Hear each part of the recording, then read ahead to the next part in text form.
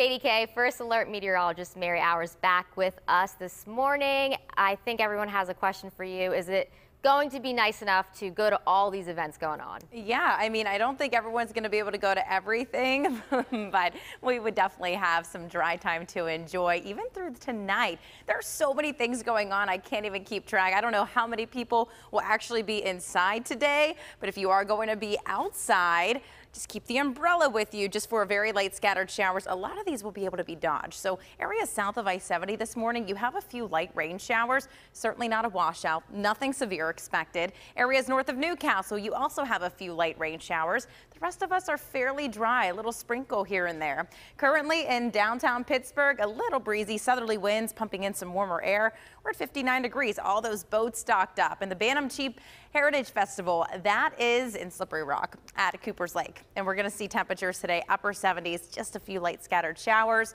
And then a few thunderstorms are possible tomorrow. Still going to be near 80 degrees. It's going to get hot. It's going to be humid. And then Monday, probably over by then, but it's still going to be very hot for next week. It's a very fun-filled weekend. There's so many things going on. Kenny Chesney. We have the Strawberry Fest, Beers of the Burg, the Three Rivers Arts Fest, Latrobe Art Show, also Beaver Falls Car Cruise, Garrison Days in Beaver, so it ranges from north to south. We'll have some scattered showers around again, but it's not going to be a washout. So fingers crossed, a lot of us won't see rain. We're going to see temperatures into the upper 70s 70s tomorrow. The bulk of the rain will be early in the morning, and then we're going to see them become a little bit more isolated with some heavier downpours tomorrow morning. 57 right now, Washington, 56 in Butler. We're at 59, Latrobe, sunny skies.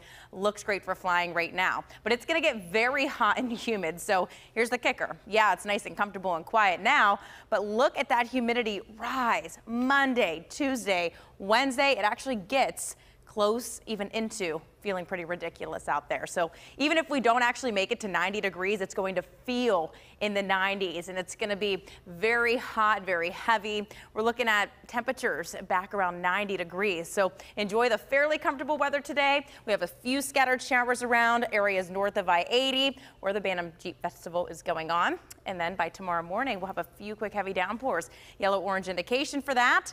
And then scattered showers through the rest of the day. So nothing severe expected, but we may just see a few wind gusts around 20 miles an hour. Monday, things quiet down and we have some sunshine on tap. 59 degrees tonight if you're going to be planning a bonfire.